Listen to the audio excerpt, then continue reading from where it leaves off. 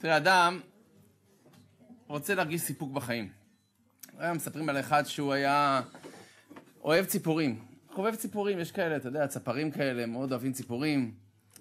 היה גר בארצות הברית, יש לו ככה backyard, חצר אחורית כזאת גדולה.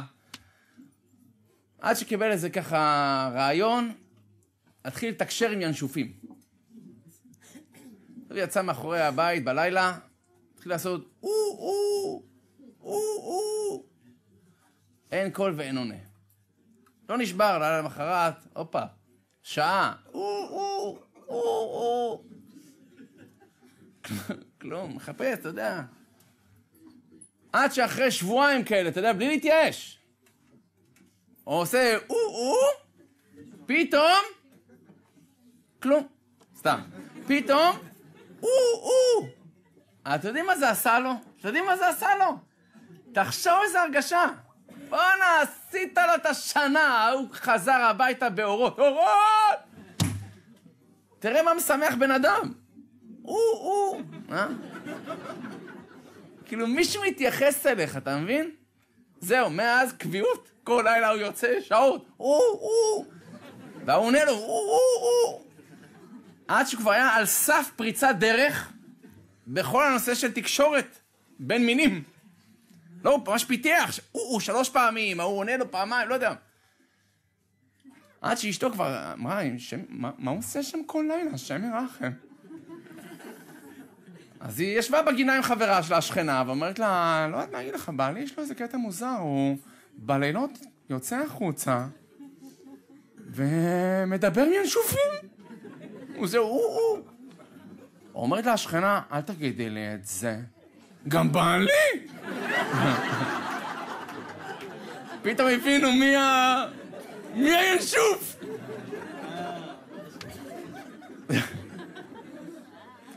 עכשיו תחשוב איזה משבר זה, אה? יאללה, תאמין לי, עזוב אותך איזה עולם. כבר חשב שהוא על סף פריצה, על סף כאילו, יש, יש לי משהו, ינשוף, דבר איתי. אני אומר את זה לעצמנו כיוון שאדם חווה באמת אכזבות בחיים. ובפרשה של, יש פרשה בתורה שנקראת פרשת ויצא. אם תראו פעם ספר תנ"ך, או אפילו תנ"ך סתם שקיבלתם בבר מצווה כזה, אתם תראו שבכל פרשייה, יש, אחרי כמה פסוקים, יש את האות פ' או את האות ס'. עכשיו מה, כאילו, זה כאילו תקוע באמצע, כאילו, פ', ס', מה, מה זה? אלא יש פרשיות פתוחות, יש פרשיות סתומות. חז"ל לימדו אותנו, כאשר אלוקים הכתיב למשה רבנו את התורה, הוא לא הכתיב לו את זה ברייס, כאילו, אלא הוא סימן לו איפה תעצור, זה פרשה תעצור, תעצור פה. למה יש פרשה פתוחה, סתומה? על מנת שנוכל להתבונן. שנבין שזה לא סתם רצף של היסטוריה, אלא זה שיעורים, כל אחד בפני עצמו. אחת הפרשיות בתורה שאין לה הפסקות, זה פרשת ויצא. כאשר יעקב בורח מאח שלו, עשיו, אח שלו, מה שנקרא בלשון הרחוב, מחומם עליו, רוצה לרצוח אותו, גנב לו את הבכורה, קטע לא יפה, אוקיי. אימא שלו אומרת לו, יעקב, אני אוהבת אותך, אבל תברח, ממי, תברח, המצב לא פשוט. בשפה שלנו כמה, אני, אני אומר את זה מראש, כל מה שאני אגיד עכשיו בשיעור, זה הכל יהיה בשפה שלנו, אוקיי? שלא... חס ושלום, אנחנו לא יכולים בכלל מי, מי זה יעקב אבינו, מי זה רבקה, אנחנו אסור לנו בכלל להגיד את השמות שלהם בלי כאילו להשתחרר, אתה מבין? אז אני עוד ככה, אוקיי. אבל אנחנו מבינים כדי להוריד את זה, מה שנקרא, לרמתנו, או לרמתי יותר נכון. אז, אז יעקב אני יוצא לדרך, והוא עובר מסכת של תלאות. בדרך אליפז, זה הבן של עשיו, רודף אחריו בשליחות אבא שלו להתנקש בחייו, בא לרצוח אותו, ויעקב מתחנן על חייו, אומר לו, תקשיב, בואנה, אני, אני, אני דוד שלך, אוקיי? אני דוד שלך! עוד פעם, בשפה שלנו כמובן. עזוב, אחי, בוא, שחרר, אבל אליפז אמר, אני לא יכול. אני, כיבוד אב ואם אצלי, אין דברים כאלה, כיבוד אב אליפז היה מכבד את אבא שלו, עשיו עצמו היה מכבד את אבא שלו ברמה מפחידה, זה דבר יפה לראות, זה עובד בתור רשע. אליפז מכבד את אבא שלו, אבא שלו אמר לרצוח את דוד שלו, אין מה לעשות. אמר לו, יעקב, אני מצטער, אני חייב לרצוח אותך, מצטער, אל תכעס עליי, אני חייב לעשות מה שאבא שלי אמר. אמר לו, יעקב, בוא נעשה עסק, קח לי את כל הרכוש שלי, קח את כל מה שיש לי, את כל הכסף שלי, את הבגדים שלי, קח הכל. ועני, עם עין, חשוב כמת. עצם זה שלקחת לי הכל, אני נחשב כמת, ואתה קיימת את מה שאבא שלך אמר. הנה, כביכול הרגת אותי. מצד שני, אני נשאר בחיים. אליפז מסכים, לוקח לו את כל הרכוש, ויעקב אבינו נמצא במצב לא פשוט. במצב שהוא מרגיש, בואנה, אף אחד לא יכול לעזור לי כי אני בצרות. כולנו מכירים את המזמור בתהילים, קכ"א, שיר למעלות, אשא עיניי אל ההרים, מאין יבוא עזרי. מי שאמר את זה זה יעקב אבינו. מתי? בקטע הזה. אשא עיניי אל ההרים, אומר המדרש, לא אשא עיניי אל mountains, הרים, אלא אל ההורים. אמר יעקב אבינו, בואו רגע נשחזר איך ההורים שלי נפגשו. הרי אדם ברמה, לא לחפש בחורה, סליחה מכבודכם, ברחוב, כאילו. יש מי רוצה להתחתן איתי פה, כאילו? היי, אני פה. לא. הוא שולח, אתה יודע, כמו, לא יודע הנסיך, הבן של אליזבת, אוקיי? הוא לא מחפש ברחובות ברחוב, שולחים איזה, לא יודע מה, שדכן, או איזה מישהו כזה ברצינות, להציע, איך יצחק מצא את אשתו? שלחו את אליעזר. אליעזר הלך עם עשרה גמלים, עם תכשיטים, פנק אותה. עכשיו יעקב בא, כאילו, איך, איך אני אמצא אישה? זה, הוא ברח למצוא אישה. איך, אין לי כלום, אין לי כלום. תסתכל יחסית להורים שלי, בואנה, שדדו אותי, אני אבוא, שלום, אני יעקב אבינו. מישהו רוצה להתחתן איתי פה? יגידו לי, מה, אתה עושה צחוק? א', אין לו תעודת זהות, אין לו פייסבוק, אין לו כלום. איך ידעו שזה הוא? איך ידעו שזה הוא? מי אמר שאתה יעקב אבינו? תראה איפה, לא, מה... לא, כי העבד שהגיע, הגיע עם גמלים. אתה, האדון בעצמך, בא בלי כלום? לא. אל תשקר, ממי, אל תשקר. אומר יעקב אבינו, אשא עיני אל ההרים, אל ההורים שלי. בואנה, מה איתי? מאין יבוא עזרי? ואז עונה לעצמו תשובה אחת, עזרי מעם השם. עזרי מעם השם! עושה שמיים וארץ. יהודי צריך לדעת, לא משנה מה קורה, לא משנה מי אתה, מה עשית, תתחזק באמונה, פשוטה. שוב פעם, יעקב אבינו נמצא במצב שאני מקווה שאף אחד מאיתנו לא יעמוד בזה. שלא ניתקל במצב כזה. לפעמים אתה מרגיש שהכל, הכל קרס. הכל קרס. כל עוד יש לך איזו תקווה מסוימת, אתה יודע מה, הישועה תבוא מ... מישהו יעזור לי בעזרת השם. יש לי חברים, סך הכל עוד אוהבים אותי. יש רגעים, לא על אף אחד מישראל. שאתה מרגיש, זהו, הכל נגמר. העולם נגמר. אין, אין מחר. אני לא יודע איך אני קם בבוקר, אני לא יודע איך אני מתמודד, וזה עוד בוקר כזה ועוד בוקר, והמצב נהיה יותר גרוע ויותר גרוע, ופתאום ההוא מתקשר אליך, וזה רוצה ממך ככה, ואתה מרגיש, די, די.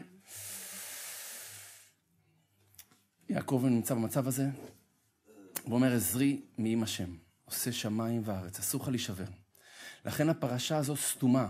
למה? יש ספר שנקרא שיחות מוסר, של רב חיים שמואלביץ זצ"ל. אחד, בדור הקודם, המשגיח, הוא כותב ככה: מה הבעיה של יעקב אבינו? מה, מה, מה הטעות שלו הייתה? לא רק פה, שוב, לפי דרגתו של יעקב אבינו, כתוב בנביא ישעיה, למה תאמר יעקב ותדבר ישראל נסתרה דרכי מהשם? למה יעקב, למה אתה אומר שכביכול, אתה יודע, כביכול, אני לא מבין מה הקדוש ברוך הוא רוצה ממני. נסתרה דרכי מהשם. ואומר המדרש, מעולם לא אמר יעקב דבר בטל אלא כאן. אף פעם יעקב אבינו לא אמר, כביכול לפי דרגתו, איזה משהו לבטלה, סתם שטות, חוץ מכאן. מה זה כאן? מה הוא אמר? אמר הקדוש ברוך הוא, אני עסוק להמליך את בנו. והוא אומר, למה הראותם לי להגיד לאיש העוד יש לכם אח? קצת רקע. יוסף נזרק לבור, נמכר למצרים, הוא עבד שמה, בשלב מסוים מעלילים עליו עלילה, נזרק לכלא ל-12 שנה, אחרי 12 שנה יוצא מהכלא, נהיה משנה למלך מצרים, הבן אדם הזה נהיה יד ימינו של פרעה, בסדר? כאילו הוא המשנה למלך, נהדר. דרגה טובה, דרגה רצינית, עד מה שנקרא, בחור טוב. כל זה אלוקים עושה כדי שיש גזירה על עם ישראל, אנחנו צריכים לרדת למצרים. יעקב יכול לרדת למצרים שאין אף אחד שמה. אלוקים שולח את הבן שלו בלי שהוא ידע, כל זה מתגלגל כדי להכין שהוא ירד כמו מלך, מה שנקרא. אז האחים גילו ליוסף שיש להם עוד אח בשם בנימין, ועכשיו בגלל זה הם צריכים לרדת למצרים יחד איתו. אז יעקב אמר לבנים, למה הראותם לי? למה עשיתם לי דבר רע? מה אתם מגלים לו? לפי דרכתו של יעקב, על מה? אל תתלונן. אל תתלונן. אתה לא יודע מה טוב לך. אתה חושב שעשו לך משהו רע. מי אמר? ואני קורא לכם עכשיו. והיינו יעקב אבינו דן את המקרה הפרטי, אשר לפי הנראה היה רעה גדולה עבורו. אדם דן בטעות מקרה פרטי, משהו שקורה לו, ועל פי המקרה הפרטי מחליט מה מצבו. אך לעולם אומר, אין לדון את הפרט לבדו, כי בחשבון הכללי נראה כל פרט באור אחר. אתה שיסתכל על החיים שלך בסך הכל, לפעמים אתה תראה שמשהו שהיה נראה ממש טוב, בסוף קלקל לך הרבה מהחיים. לא משנה, זוגיות שהתחילה עם טה טה טה טה טה טה והיית בטוח, זהו, אני בפסגת האברסט, אני הגעתי לשלמות שלי, הגעתי, הגעתי. וכך, פרספקטיבה ארוכה, אחרי שנה, אתה מרגיש, תאמין לי, אבל נפלתי חזק, חזק. נכון? חבל שלא צילמתי אותך, איך היית אברסט, אברסט. לפעמים אדם חוטף סטירה, בגלל הסטירה הזאת הוא התעורר. השתנה, קרה משהו חיובי, אני לא יודע מה, אי אפשר לדעת. הנה, סיפרו לי, היה מקרה לא מזמן, לצערנו הרב, אדם מבוגר חלה באלצהיימר. אה, ונכנס לו איזשהו, אה, איזשהו, כזה קצת איזשהו, לא יודע לקרוא לזה, הוא התחיל לעשות דברים מהרחוב. כל דבר ישן שהוא רואה ברחוב לוקח הביתה. עכשיו, הוא לא מודע לזה, הוא לא עושה את זה בכוונה, הוא לא נהיה עכשיו איזה אספן מקצועי. כל מטאטא ישן לוקח הביתה, זה לוקח הביתה. הוא לא בדיוק, כאילו, לצערנו הרב, מחלה פגעה לו בראש, והוא מביא דברים הביתה. עכשיו, בשלב מסוים הבית מפוצץ. סחורה. וזה, זה, אשתו כבר לא יכולה, לא יכולה. אז כאילו, היא אמרה לילדים, תעזרו לי, מה, מה אני עושה? כאילו, אבא שלכם, אני לא יודעת מה להגיד. אתה לא יכול להסביר לו את זה גם, כאילו, הוא לא שונא שהוא עושה את זה אפילו, הוא לא, הוא לא מבין, כאילו, מה אני עושה? מה אני עושה? הם הלכו לאיזה יועץ, מישהו מהעירייה, מהרווחה, והמליץ להם שיתבעו את האבא לדין, על כך שהוא בעצם, כאילו, הוא חייב לדאוג לאשתו לבית נורמלי. תתבעו אותו לדין, ואז הוא יהיה חייב להשכיר לה דירה אחרת. אין בעיה, רוצה לאחסן פה בבית את האוצרות, שיאחסן בבית, אבל תתבעו אותו, ואז הוא יצטרך לשלם להשכרת דירה. הוא לא ירצה לשלם, זה הוא עוד מבין, כסף תשחרר הוא לא ירצה, אז הוא יפסיק עם השטויות שלו. אשתו שמעה את זה, מה, לתבוע את בעלי? כאילו, מה, אתם... לא, לא שייך, מה פתאום, אני לא טובה. אמרנו, זה בשבילך, תביני, הוא לא... את, את, חייבת לדאוג לעצמך, עם כל הכבוד. והיא אמרה, בשום פנים ואופן, אני לא, לא, לא רוצה שמישהו יתבע את בעלי, ואני לא, אני, אני, אני, אחיה ככה איתו, לא משנה לי, אני לא... ויתרה, ויתרה. הבנים סיפרו שבאותו זמן, לצערנו הרב, לאימא היה לה גידול במקום מאוד בעייתי. והגידול הזה, אחרי שהיא החליטה, התחיל להצטמצם. הרופאים אמרו, לא יודע, לא, לא צריך כימותרפיה, נעצור שנייה, זה מצטמצם מעצמו, הצטמצם, מצטמצם, וברור שעבר לה. עבר לה, הרב אמר, שהם שאלו את הרב איך זה יכול להיות, מה זה הדבר הזה, אמר, אולי היא עשתה מה שנקרא מעל הטבע, היא ויתרה, היא לא הייתה צריכה לוותר לו אולי, לא יודע מה. אתה עושה לפעמים, אתה מקבל איזשהו משהו לא נעים, והמשהו הלא נעים הזה אולי עוזר לך במקום אחר שאתה בכלל לא יודע עליו בכלל, אתה אפילו לא חולם עליו, אי אפשר לדעת שום דבר. בקיצור, אסור לדון את הפרט לבדו, כי בחשבון הכללי נראה כל פרט באור אחר, וכן היה כאן. הכל היה כלול בחשבון הכללי, להמליך את בנו לטובתו ולטובת הכלל. יעקב לא ידע את זה. וכן לפרש, אומר, כוונת הגר"א, הגר"א, הגאון מווילנה, שהוא רצה לעלות לארץ ישראל, הוא היה חי בווילנה, הוא רצה לעלות לארץ ישראל, והוא כתב מכתב למשפחה שלו, שלא, שלא יישברו. אז הוא כותב באיגרת שלו ככה, למה תבכה מאשר היום תשחק? סליחה, למחר תבכה מאשר היום תשחק. תדע לך, מה שאתה היום שמח, לא משנה מה, אדם רוצה לזכות הרי בלוטו, מה, כל אחד רוצה לזכות בלוטו, באיזה משהו ירושה, משהו טוב כדי... הרי כל אחד מחכה שאראלה תתקשר אליו, לא? זאתי... תשמע כמובן, שלא מדבר פה אראלה, יורילה לא מאמין, לא מאמין, אראלה, נכון? עכשיו, אם נהיה אמיתים, אז הוא היום צוחק, מבסוט, זכה בלוטו. נסתכל בטווח זמן, יכול להיות שזה הרס לו את החיים. הרס לו את החיים. בגלל זה התגרש מאשתו, והכלב שלו ברח בגלל זה, והילדים נוגחים בו, תביא את הכסף, רוצים שימות, יביא, יקבלו את הירושה, לך תדע. הוא לא יודע את זה, הוא לא יודע את זה. מחר תבכה חס ושלום, מה שאתה היום צוחק. את הדבר ההפך. תצחק על מה שהיום אתה בוכה. מה שנראה לך היום סוף העולם הגיע, אתה עוד תצחק. רק אל תזלזל ולו בדבר קטן, ותראו דבר מאוד מאוד יפה שהתורה מלמדת אותנו. כמה התורה באמת... תראה, היו ליעקב שתי נשים. רחל, לאה, זה היו השתי הנשים העיקריות. שתי נקרות, לא זכו לילדים. אבל, בשלב מסוים שתיהן זוכות לילדים. למה? בשלב מסוים, וירא השם, אומר הפסוק, כי שנואה לאה, ויפתח את רחמה.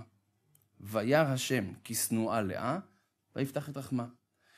רחל, לאה לא הייתה שנואה חס ושלום בפועל, זה אסור לחיות עם מישהו שאתה, אין, אין כזה דבר שיעקב שנא את, את, את לאה.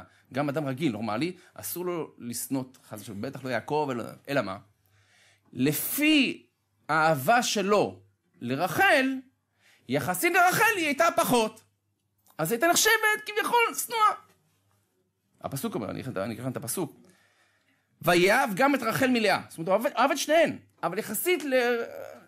לרחל הייתה קצת פחות. בסדר. לאה, יחסית לרחל, בסדר. לכן אמר הפסוק, וירא השם כשנואה לאה. זה לא שהשכנים אמרו. השם יראה לכם מה קורה בבית הזה, תאמין לי. לא, צלחות עפות שם, נגיחות, אני שומע צעקות. לא, וירא השם, רק אלוקים ראה, רק אלוקים, הוא יודע מה קורה בלב של כל אחד מאיתנו. וירא השם כשנואה לאה, ויפתח את רחמה. זאת אומרת, עוד פעם אנחנו רואים, דווקא בגלל שהיא הרגישה כאילו, אוף, כאילו קצת פחות, מה שנקרא מקום שני, זכתה, זכתה. והיא זכתה, תבינו את העוצמה, מה היא זכתה? היא זכתה א', לשני בנים שישנו את ההיסטוריה. אחד זה יהודה, כל בית דוד, כל שלמה המלך, כל המלכים, הכל זה ממנה. היא זכתה ללוי, הבן של לוי, כל משה רבנו ואהרון, זה הכל שבט לוי, זה שלה. להבדיל רחל, כביכול לפי, לא זכתה כמעט לכלום. וירא השם כשנואה לאה ויפתח את רחמה. אנחנו לא מחפשים ביזיונות חס ושלום, אבל אם יש לכם ביזיונות, אז לפעמים אתה מחפש מה יצא לך מזה, אתה לא יכול לדעת. אבל בואו תראו משהו שקצת יפחיד אתכם, בסדר? סליחה שאני אומר את זה, אני, אני אומר את זה לעצמי. הרי יעקב התחתן עם שתי נשים, נכון? למה? למה זה קרה שם? מה קרה? הוא רצה את רחל. עבד בשבילה שבע שנים. ככה חז"ל מספרים, הוא בא, פוגש אותה בבאר, קטע מאוד מרגש וזה. פעם כולם נפגשו בבאר, תדעו לכם. כדי לפתוח פאב בבאר, פאב בבאר. אז ילך טוב, שידוכים, עניינים כאלה. פגש אותה בבאר, ובא לאבא שלה, אין בעיה בוא, תעבוד בשביל הבת שלי שבע שנים. עבד שבע שנים! שבע שנים! אחרי שבע שנים. חתונת השנה, יעקב אבינו, עם בחירת ליבו. תראה מודעות בכל אה, ארם נהריים וזה, ארץ כנען, כולם יודעים, וואלה, איזה כן, חייבים לבוא לחתונה הזאת. ואז חתונה מפחידה, למה? כי אבא שלה, לבן, תחמן, זו הסיבה שאנחנו עובדים בשחור, בגלל שעבדנו בלבן שבע שנים, תראה מה קרה. לבן מחליף בין רחל ללאה. יעקב אבינו לא חוש... חשב שיקרה כזה דבר. הוא נותן לרחל סימנים. אללה צדיק פה, איזה מחטף אנחנו... רחל צדקת, מעדיפה לוותר, שאחותה לא תתבזה. באמת, אין לנו השגה מה זה. שאחותה לא תתבזה, היא נותנת לה את הסימנים. ואז ויקום בבוקר, והנה היא לאה. תחשוב איך יעקב אבינו הרגיש, בואנה, מה זה? מה, מה זה? עכשיו אם הייתי אני, כביכול, כן? הייתי בא, שורף את החווה של לבן, שורף אותה, בא לרחל, בוא ממי, בואי ממי, בואי הביתה, בואי מי זה אבא שלך, אני אפרק אותו, יעשה לי עוד פעם אחת כזה, שבע שנים אני עובד פה! כלום. שקט, לא מדבר. עכשיו לא תחשוב חס ושלום, כן, יעקב ונהיה כזה, אתה לא נורא, הכל לטובה. אתה חושב ככה? חס ושלום. יעקב אבינו היה חזק מאוד פיזית. חז"ל אומרים שהוא פגש אותה בבאר, והיה שם אבן על הבאר, ושלושה עדרים, שלושה רועים, לא יכלו להזיז את זה, היו צריכים לחכות לכולם שיזיזו את האבן, ויעקב אבינו מיד אחת הזיז אותה. הוא יכל לכמת את לבן ולקחת את רחל. לא. אבל אז יש קטע שצריך לחזק אותנו. אפילו טיפה להפחיד, אני אומר לכם. מילא רחל צדקת, ברור לנו. יעקב אבינו לא שם לב, גם יכול להיות. אבל מה עם לאה? שוב, אנחנו לא יכולים לחס לדבר על... אבל להבין. לאה, במילים שלנו, שיחקה פה קטע לא יפה. אה? לא, כביכול, הייתה באמצע הלילה, צריכה להדליק את האור. יעקב, זה אני. אתה רוצה להישאר, אתה לא רוצה ללכת הביתה, בסדר, אבל זה אני, אוקיי? אז אל תגיד לי, לא אמרתי לך. לא, לא אמרה כלום, כלום. ויקום הבוקר, וירא, והנה היא לאה. יעקב, הוא שאל אותה. כאילו, באמת, כעס עליה. למה? למה אתה עושה לי את זה? כאילו, מה עשיתי לך? מה? ואז היא אמרה לו, הרב שלי לימד אותי את זה. מי זה הרב שלך? תביא אותו, אני גם אדביק אותו. הוא אומר לו, כן, הרב שלי זה אתה. אתה לא עשית את זה? אתה לא עשית את זה לאח שלך? הרי אימא שלך אמרה, לך תתחפש לאח שלך, תהיה לי בריא, אתה שמת אורות של עיזים על היד, באת לאבא שלך, אבא תמשש אותי, בוא. ואבא שלך עיוור, עושה ככה, ואומר, הכל קול יעקב, ועדיין די עשיו, איך זה יכול להיות? ואתה אומר לו, כן, מה אני אעשה? מה יש? אנוכי עשיו בכורך, אתה, אתה שיקרת. אתה עשית מה שאימא שלך אמרה לך והתחפשת לאח שלך. לי מה שאבא שלי אמר לי, והתחפשתי לאחותי. למדתי את זה ממך. תדע, גלגל חוזר בעולם. ואני אומר לכם, זה הקטע, אחד הקטעים שהכי מפחידים אותי בחיים. אני אומר לכם את האמת. עזוב אותי עולם הבא אפילו, לא מדבר שמה. פה. אה? גלגל חוזר בעולם. יעקב אבינו, לפי דרגתו, לא כיבד את ההורים שלו 22 שנה. כשהוא ברח, הוא היה בישיבת שם ועבר 14 שנה, ואחרי זה הוא היה אצל לבן. 22 שנה, לא כיבד את ההורים שלו, הוא לא זוכה לנחת מהבן שלו יוסף 22 שנה. מידה כנגד מידה. יהודה, בשלב מסוים הוא מביא את הכותונת של הדם, הרי הם טבלו את הכותונת של יוסף בדם של עיזים, ואמר ל... ליעקב, הכר נא הכותונת בן חי, במילים האלה, הכר נא, כשיהודה, לפי דרגתו, הרי הוא הולך והיה לו כלה בשם תמר, הם היו ביחד, התעברה ממנו, הוא רוצה אותה להוציא אותה להורג, אומרת לו באותן מילים, היא לא יודעת מה שהיה שם, היא אומרת לו, הכר נא, עוד פעם, שתי אותן מילים, אני הרע למי שאלה שלו. מידה כנגד מידה. גלגל חוזר בעולם, אני אומר לכם. זה אחד הדברים שצריך לתפוס כל אחד מאיתנו. אתה מבין? כי אנחנו רוצים שיהיה לנו טוב, כל אחד מאיתנו. אף אחד לא רוצה צרות, אף אחד לא רוצה שום דבר. אבל, אני אומר את זה לעצמי, מה שאתה זורע, אתה קוצר בסופו של דבר. אלא אם כן, אנחנו משתנים, בעזרת השם, מבקשים סליחה, קורה, אנחנו בני אדם. אבל תבינו עד כמה אדם לא שם לב לזה. אני אטשטש פרטים שאף אחד לא ידע. ניגש אליי בן אדם, אומר לי, רב, אתה חייב לעזור לי. אמרתי, מה אני יכול לעזור לך? אומר לי, הבת שלי עומדת להתחתן עם בחור. הרב, אני אומר לך, ממש לא שייך לה. לא שייך, הרב. על גופתי תתחתן איתו. על גופתי. הרב, אני לא בא לחתונה, המשפחה על סף פירוק, הרב, אני לא רואה אותו בעיניים, הוא תת-רמה לעומתה, תת-רמה, הרב הוא לא בן אדם, לא, לא שייך, הבת שלי כלילת המעלות, ההוא, לא יודע, מה אגיד לך, הרב, לא יודע. אתה חייב לעזור לדבר איתה. חצי שעה הוא מדבר איתי, מנסה לשכנע אותי, כמה הבחור לא מתאים לה. ויכול להיות שהוא צודק, לא אמרתי שלא, לא מתאים. אדם חשוב מאוד, אני אומר לכם. אני מסכים איתו. אבל בסוף, אומר לי, אתה יודע משהו הרב? הסיפור הזה בדיוק איתי והמשפחה של אשתי ככה. כשאני רציתי להתחיל עם אשתי, המשפחה שלה התנגדה, ועשתה לנו בלאגן. אותו דבר. אמרתי, אבל תראה, לעצמי אמרתי, איך הוא לא שם לב לזה אבל? איך הוא אמר לי את זה בסוף, בסוף? קודם כל, הוא צודק, ברור שהבחור הזה לא מתאים. אבל גם אתה עשית את זה להורים שלה. עכשיו עושים את זה לך. גלגל חוזר בעולם. אנחנו לא יכולים להבין את זה. עוד פעם, אף אחד לא מושלם, הרי לצערנו הרב, בלי להפריע, כי אתה מתחיל לפחד, אתה מבין, שנייה, הכל חוזר פה, שנייה. הכל חוזר עליך ואתה יודע מה שבידיך. לא יודע, מתישהו, לא משנה, אבל בקיצור, אתה, אתה מתחיל להרגיש, בואנה, מה קורה פה? מה, איך אני יכול באמת להינצל מזה? לצורך העניין, עד כמה הדבר הזה חשוב. מצד אחד לא צריך לדאוג יותר מדי, כי אנחנו בני אדם. וכבני אדם אנחנו עושים טעויות, אין פה זה. איך מישהו אמר לי, הרב, אני כבר הפסקתי לדאוג למינוס שלי בבנק. אמרתי לו, למה? מה, הוא מספיק גדול לדאוג לעצמו.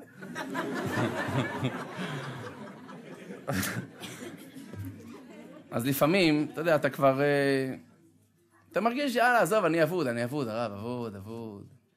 היה איזה אלכוהוליסט אחד, חזר בשלוש לפנות בוקר, ככה, כולו... אשתו שואלת אותו, איפה היית? אתה לא מתבייש? איפה היית חסר אחריות אחד? איפה היית?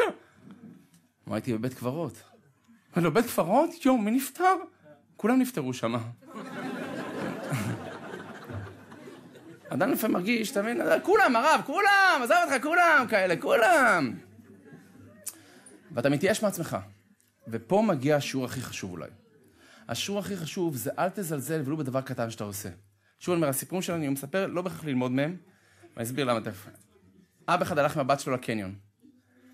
וכשהם נכנסו לקניון, אז היא אמרה לו, אבא, אני רוצה שקל לתת לבוריס. אז הוא אומר לה, מי זה בוריס? אז הוא אומר לו, זה הנגן של הכינור בכניסה לקניון. אז הוא אומר, מאיפה את יודעת איך קוראים לו? הוא אמר לי. טוב, בואי איתי לבוריס. לקח אותה לבוריס, לקחה שקל, אמר לו, בוריס, זה בשבילך חמוד. עכשיו, בוריס גם היה מופתע. מאיפה אתה יודע איך קוראים לי? אז היא אמרה לו, אתה אמרת לי? אז הוא שואל, אז איך את זוכרת אבל? ואז היא כאילו לא הבין בכלל את השאלה. אתה אמרת לי, אז אני זוכרת. בוריס כל כך התרגש, לקח את הכינור, והתחיל... עכשיו, אחרי שהוא הרביץ איזה סינפוניה תשיעית של אה, מושיקו, התכופף, לקח את השקל, החזיר לה, אמר לה, את חברה שלי, בשבילך אני מנגן בחינם. והמשיך. אז אני אומר פעם, לא ללמוד את הסיפורים האלה, איך תדע, בוריס, השם ירחם, לא יודע, נותן השקל, איך תדע איפה זה נגמר. אבל אה, היפה הוא, היפה, תראה איך הוא התרגש ממשהו קטן. מישהו זכר את השם שלו. מישהו זכר את השם שלו. כמה אנחנו עוברים ליד אנשים, אתה יודע, לא תגיד איזה הומלס ברחוב, אנשים שעובדים איתך, אני אומר את זה לעצמי לפעמים, אנשים שעובדים איתך, אנשים שסביבך, ואתה, אתה יודע, שקוע בדברים שלך, לא אכפת לך כלום, אתה מבין? אתה, אני אומר לעצמי, אנשים לפעמים כאלה אגואיסטים. אתה יודע, כל אחד חושב על עצמו, אפילו זה מפחיד לראות את זה, אני אומר את זה לעצמי, אני מפחד לעצמי גם. בואנה, אתה בטוח שאתה צודק, אתה בטוח שעושים לך עוול, אתה כזה אחוז, אתה מבין? ובסוף אני אומר לך, אתה רואה שכל אחד חושב על עצמו, גם אפרופו אלכוהוליסט כזה, כן? שכב באיזה פאב, כולו ככה, זרוק לרצפה. אז בכניסה לפאב הוא שוכב, ועברה שם נזירה. אז אמרה לו, אלכוהול, אלכוהול, אבי אבות הטומאה. אז הוא אמר לה, מה את מדברת? מה, את אה, פעם ניסית כזה דבר? אמרת לו, לא, חס ושלום. אמרנו, אז מה את מדברת? אם הייתי מנסה, אולי אה, מדברת אחרת. אתה... אמר לו, לא, אני לא יכולה לנסות, אני נזירה, אנחנו לא עושות כאלה דברים. הוא אומר, אני אביא לך, אל תדאגי. אמר לו, איך תביא לי? מה? לא היה. אני אביא לך עם כוס תה מהבר, אף אחד לא יודע שזה וויסקי. מה טוב, נו, בוא ננסה.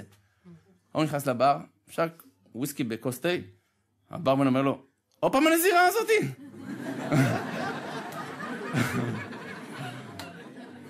אתה רואה? לפעמים, אל תדון את חברך עד שתגיע למקומו, אבל אנחנו צריכים לדעת שזה לא ככה. אנחנו צריכים לדעת שלפעמים משהו קטן יכול לשמח אחר, נכון שהיית רוצה את זה גם לעצמך, אבל תחשוב טיפה על השני, עזוב אותך עכשיו, עזוב אותך, אתה, כולך. תנסה להיכנס לנעליים של השני ולראות את העולם דרך העיניים שלו. ואתה תראה עולם אחר, אני אומר לך, עולם אחר לגמרי. אתה כל כך סגור אצל עצמך, אני אומר לך, וככה זה בזוגיות, ובחינוך הילדים, ובעבודה, כל אחד, יואו, זה מפחיד לראות את זה, אני אומר לכם. למה אני אומר את זה? מכיוון ש... לרחל נולד אחרי זה בן. הבן הראשון של, של רחל, איך קוראים לו? את יודעת? אתם יודעים? יוסף. למה קוראים לו יוסף? למה קוראים יוסף? למה לא משה, אברהם, יעקב? אני אקרא לכם, אני אקרא לכם. אומר הפסוק, אסף אלוקים את חרפתי. קרא לו יוסף, כי אסף אלוקים את חרפתי. איזה חרפה, מה אסף? אז תקראי לו אסף, למה יוסף? במדרש אומר ככה, כל זמן שאין לאישה בן, אין לה במי לתלות סירחונה. מה הכוונה? נסביר לאט לאט. מי שיש לה בן, תולה בו. אומר מדרש, מי שבר כלי זה? בנך. מי אכל תמרים הללו? בנך. אנחנו נסביר. תאר לך עכשיו, אין ילדים עדיין. ומישהו שבר כלי. הבעל מגיע, מי שבר את זה? מי שבר את זה? אם אין ילדים,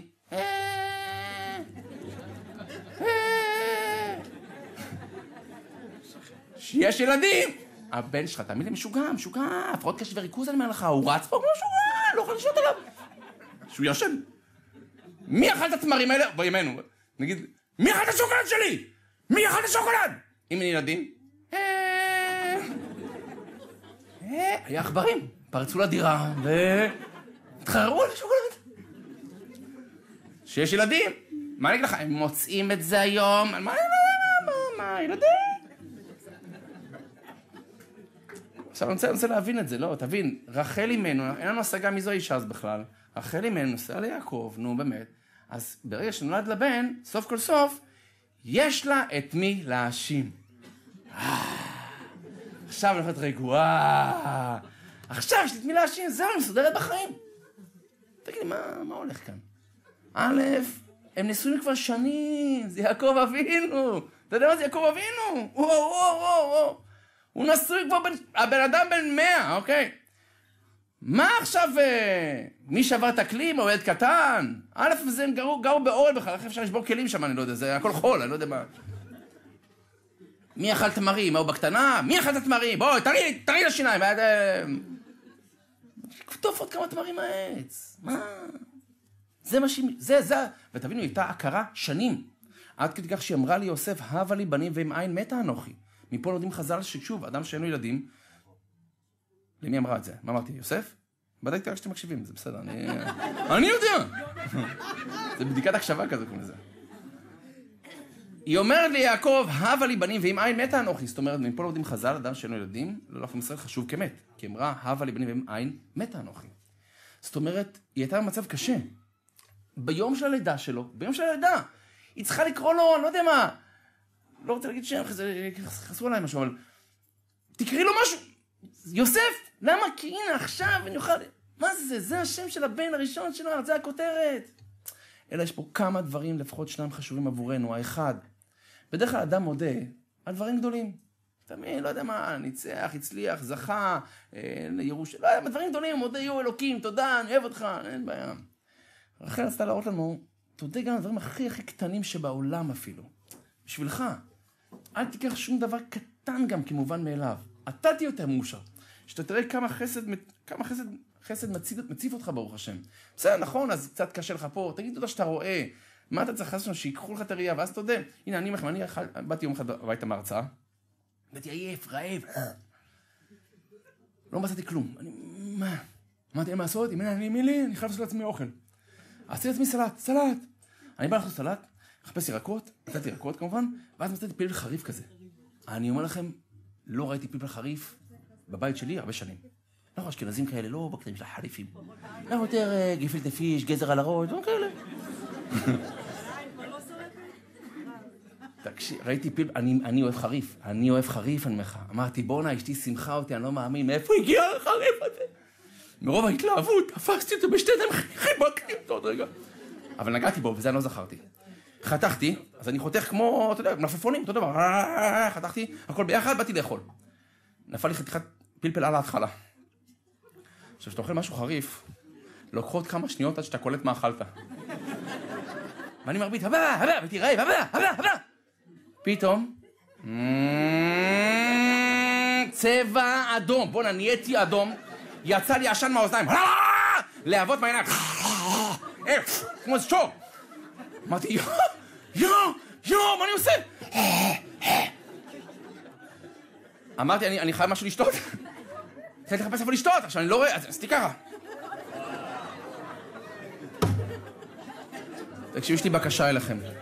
אם נגעתם בפלפל חריף, בחיים, בחיים, אל תיגעו בעיניים. אתם איזה הרגשה מפחידה הזאתי? יואו, זה שורף. שאתה לא יכול לפתוח את העיניים, אתה כאילו פותח, אה, אה. עכשיו כולם ישנים, ואני כאילו, אשתי, אשתי. אני אומר באותו רגע פחדתי חס ושלום, אני לא... לא יודע, לך תדע מה יהיה, מה יהיה? אני רוצה לראות! אני רוצה לראות! אני שוטף את המים, לא, לא עוזר, אני... אה, אה! יואו, יואו, יואו. ואני אומר לך, איזה רבע שעה ככה, אני בהלם, בהלם. ואז אני יושב ככה, ואני מתחיל לחשוב, כאילו, אה, מה אני אעשה עכשיו ככה, אם אני אראה ככה, וזה, איך אני אתן הרצאות ככה, וזה, מה... אני מתחיל לחשוב, קדימה, ישר קדימה, תכלס, מה עושים? ואז, כנראה אשתי שמעה אותי, והיא הגיעה, ואני עושה ככה.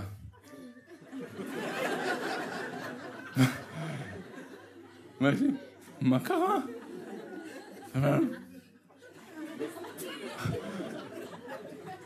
את אשמה. אתה מבין? לא משנה, כאילו זה היה קטע חזק, באמת, אני אחרי זה נהניתי לראות כל דבר, והלכתי ככה, ואני רואה, יש, אני רואה, הנה, בואו, אנשים, אני רואה, אה. נו, מה אתה רוצה לעשות שיקרה לך משהו, תמיד, ואז תגיד תודה לראייה? תגיד תודה. אתה רואה, ברוך השם, לא שורף לך שום דבר, תגיד תודה, תגיד תודה.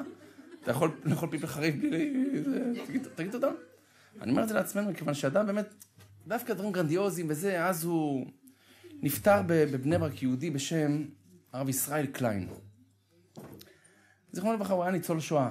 זאת אומרת, אני, אני מאוד מאוד, באמת, אני מאוד מעריך אנשים, כל מי שעבר, כל המבוגרים, אני, אני באמת עפר לרגליהם. זה, זה, אתה רואה אנשים, הם עברו בחיים, איזה מפחיד זה, הם עברו, לא קצת, יש לי איזה משבר וזה, אני קצת עובר איזה דיכאון.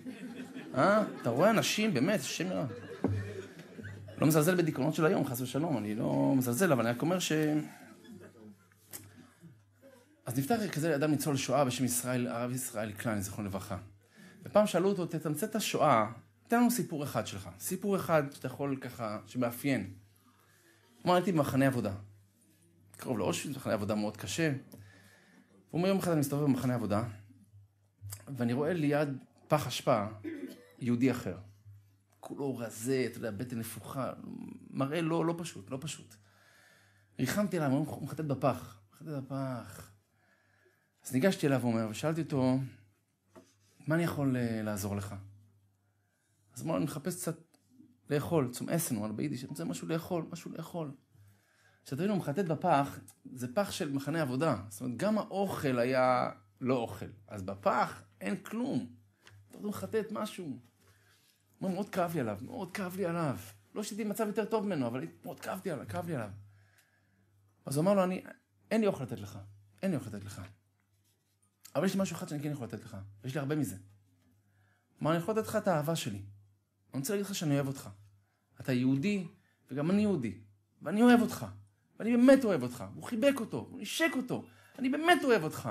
ואתה יהודי צדיק, וגם אני יהודי. אנחנו נעבור את זה. הוא חיבק אותו, ונשק אותו, ונשק אותו, והם שניהם התחילו לבכות, לבכות. אנחנו יהודים, אנחנו נחזיק מעמד. הוא חיבק אותו. הוא אומר, המצב הזה, מאז נקשרנו, כבר היינו רואים אחד את השני פה בעבודה, ושנינו שרדנו את המלחמה.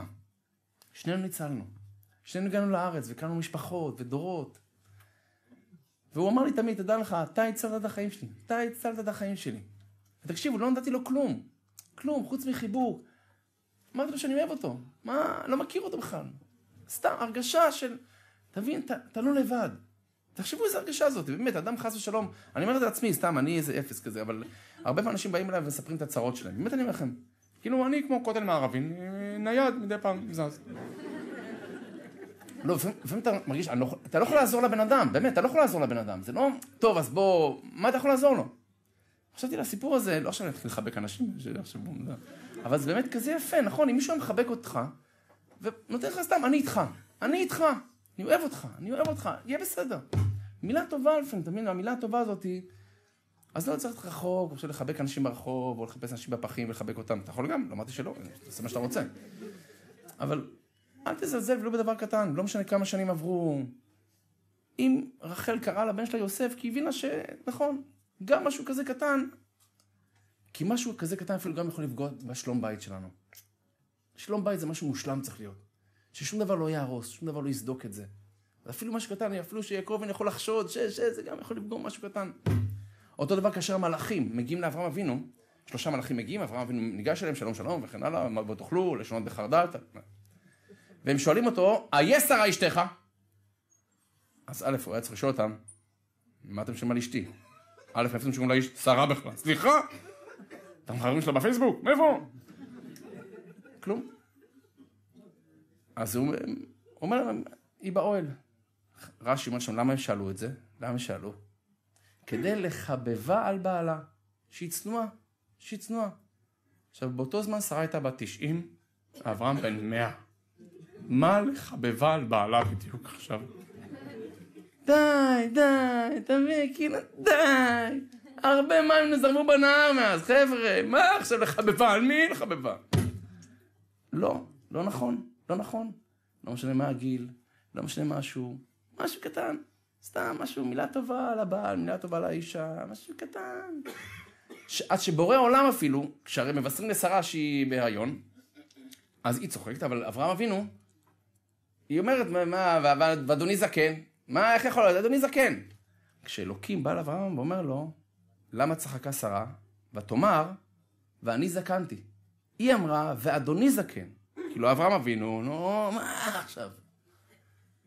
אלוקים שינה, והיא אמרה לאברהם שהיא אמרה, ואני זקנתי. מפה לומדים הלכה, שעוד פעם, תיזהרו איך ליישם אותה, אבל שמותר לשנות פני השלום. זאת אומרת, אלוקים בכבודו ובעצמו, עכשיו, ונגיד, והיא הייתה, והאלוקים היה אומר ששרה אמרה לך, ואדוני זקן. מה, אברהם בן 18? מה, בוא נודה, הוא עצמו יודע שהוא מבוגר. הוא עצמו אמר, וכי לבן מאה שנה ייוולד בן, הוא עצמו אמר זה לא יכול להיות. נו, אז אם אשתו אמרה שהוא זקן, בסדר. נכון, זקן זקן, אבל אה, כוחי במותני. נכון? לא, שמא עכשיו, אה, אמרת שאני זקן, אה? אין בעיה, זקן, אין בעיה, אין בעיה. זה אברהם אבינו, זה שרה. לא, משהו קטן אפילו, משהו קטן. אני אומר את זה לעצמנו, מכיוון שלפעמים אנחנו חושבים רק דברים גרנדיוזיים, הם עושים את הדברים בחיים. לא, לפעמים מילה טובה, לפעמים דבר כזה. אבל מצד שני, אני אומר את זה בזהירות, כן?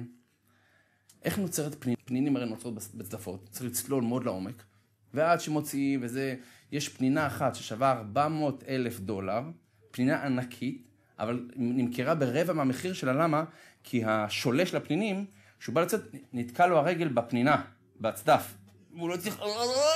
ולא היה פעם בלוני וזה, והוא מת שם, נפטר. אבל למה אני אומר? פעם היה מאוד קשה לשלוט פנינים. עד שאותו יפני עלה לרעיון. ניסה להבין. ואז התברר שהפנינה חיה בקרקעית הים. יש סופות חול. פתאום נכנס גרגיר של חול לתוך הצדף. עכשיו, פנינה זה לא נוח לה. איי, איי. זה לוחץ לה פה, אח. עכשיו, אין לה ידיים, תוציא, מה הבעיה, אחותי, תוציא. אין לה פינצטה, אין לה כלום. אז מה? היא עושה כזה כיס, מנפחת כזה כיס, ובתוך הכיס משפריצה כזה נוזל, ועוטפת את הגרגיר הזה. ואז כאילו, אה... עכשיו לאט לאט זה מתקשה, עוד פעם, עוטף את הגרגיר, ככה, זו פנינה. עלו על זה, ועכשיו מזריקים את זה כאילו כל הזמן בבריכות, זה, גרגירים. אבל אותי זה חיזק מאוד. כי לפעמים משהו נתקע לך בחיים, נכון? משהו נתקע לך בחיים, אח, אח, אח. ואתה לא יודע שיוצא לך מזה פנינה בסוף. זה מה ש... לך מזה פנינה, חכה, חכה. אל תקפוץ למסקנות, ואל תחשוב שהעולם כבר נחרב, לא. או תצא לך מזה פנינה. לכן הדבר האחרון, אולי אתם מכירים את הסיפור הזה, אבל היה יהודי עשיר. לא, לא יהודי בעצם, מה זה משנה יהודי? טוב, יהודי, לא אכפת לנו. הוא הסתובב יום אחד ככה ברחוב, הסנדל שלו נקרע, נכנס לסנדלר. נכנס לסנדלר, אתה יכול לסדר את הנעליים? אמר לו סנדלר בשמחה. לוקח את הנעל, ומנצל את זה, והשיר הזה רואה שהסנדלר מאוד מבולבל. אתה מצחיק ככה, פה... לי זה גם קרה, אשתי אמרה לי את זה. באמת, הייתי צריך לספור קצת כסף, מצב טוב, כן. אבל לשלם למישהו, לא בגלל זה. ואני התחלתי לספור כאילו, מ-200, אני בכלל לא רואה איזה שטרות. אז אשתי אומרת לי, ממי קרה לך משהו נראה לי. תביא לי לספור חמוד שלי, אתה קצת לא מפוקסס. אז ככה, אני אומר, אדם שטרוד, לפעמים הוא... אז השיר רואה שהסנדלר כאילו קצת אה, לא... אז הוא אומר לו, מה קרה, חמוד שלי, מה קרה? אז אמר לו, הסנדלר, השם ירחם, יש לי שמונה, שמונה בנים ובנות, והמצב הכלכלי בבית מאוד קשה, ואני לא מצליח להתרכז, לא מצליח להתרכז. השיר זה מאוד נגע לו ללב. אמר לסנדלר, בוא איתי. ניקח אותו לווילה שלו, נכנס הביתה, הוציא כיכר מזהב, סיפור מאוד ידוע. כיכר מזהב, אמר לו, קח. קח, וכל פעם שתצטרך מבחינה כלכלית, תחתוך את הכיכר, פרוסה, תמכור אותה, ותסתדר כלכלית. הסנדלר הזה מאוד שמח. חזר הביתה עם הכיכר, מה, זה שמחה עצומה, זהו, אני מסודר, אני מסודר. שם את הכיכר בכספת. עכשיו הוא יודע שכל מה שהוא יצטרך, הוא ישתמש בזה. חזר לעבודה, התחיל לעבוד במרץ, תביאו נעליים, אה, עכשיו אני מסודר. עבד כמו שצריך, הרוויח כסף טוב, ברוך השם, התחיל להתקדם. לאט פתח סניפים, עוד סניף של נעליים, בואו, לא נגע עדיין בכיכר. גדל, התפרנס, הילדים שלו כבר בתור חור, פי, נהיה עצמו עשיר גדול. עד שיום אחד הסנדלר הזה הולך ברחוב, הוא רואה אדם עני. מסכן ככה, עצוב, בוכה. אמר לו, למה אתה בוכה? הוא אמר, המצב שלי כלכלי מאוד קשה וזה. אמר לו, הסנדלר, בוא ניתן לך משהו. לי נתנו את זה, ואני אתן את זה עכשיו לך. הלך הביתה, הביא את הכיכר מזהב, נתן לו את זה, אמר לו, קח, אם תצטרך, תחתוך, תמכור, תסתדר. האדם הזה לקח את הכיכר, רץ הביתה, אמר, לא מאמין. לקח פטיש, לדפוק על הכיכר. וראה באמת שיש רק מעטה קטן של זהב, זה הכל סתם נחושת. חזר לסנדלר, איזה גנב אתה, שקרן! זה בכלל לא זהב אמיתי, זה רק קצת מעטה. אמר הסנדלר, תראה מה זה. אני הייתי בטוח שזה באמת זהב. אז היישוב הדעת הזה שהיה לי, עזר לי להמשיך בחיים. אתה עם זה שלך, עכשיו אתה חזרת לאותו מצב. לפעמים אדם רק צריך לתת לעצמו את ההרגשה, יהיה בסדר. יהיה בסדר. תפסיק להיות טרוד כל הזמן, ואתה תוכל להתקדם יפה. יסתדר, תסתדר העבודה, ויסתדר הזוגיות, יהיה בסדר. רק תסיח את הדעת, משהו שירגיע אותך.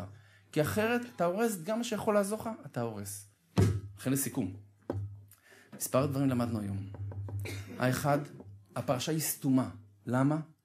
כי אל תסתכל על נקודה אחת בתוך הפרשה, או פרשה של החיים שלך, מה שנקרא. יש, לא משנה, לא נגיד מי, אבל יש כאילו, יש איזה, בחוץ לארץ, איזה ראש ממשלה, איך שהוא עבר, התחילו לנשק אותו. אמר אתם מנשקים אותי? אמר לו, אתה כמו ספר תורה אתה. אמר מה קשור? כל שבוע פרשה אחרת. טוב, לא משנה. אז אני רק אומר ש... אז יש פרשה סתומה, פרשה פתוחה. אל תסתכל על משהו אחד, בתכליל, לא משהו טוב, לא משהו פחות טוב. תסתכל על הסך הכל, בסך הכל פתאום אתה רואה, באמת, הדברים יסתדרו לטובה בעזרת השם. אתה תבכה חס ושלום על מה שהיום אתה צוחק, ואתה תצחק מחר על מה שהיום אתה בוכה. תן לזמן לעשות את שלו, מצד אחד. מצד שני, אסף אלוקים את חרפתי. אפילו משהו קטן, תודה. משהו קטן, תודה. אל תזלזל בזה. אם חס ושלום יש קצת ביזיינות, קצת, וירא השם כי שנואה לאה. שנואה לאה. ויפתח את רחמה. אנחנו לא רוצים חשבונות עקרים, אבל השם יפתח לכולנו את כל השפע, את כל הברכות, לפרנסה טובה, לבריאות איתנה, לשלום בית, להצלחה בכל מה שתעשו, אמן כן רצון. תודה רבה, שבהצלחה.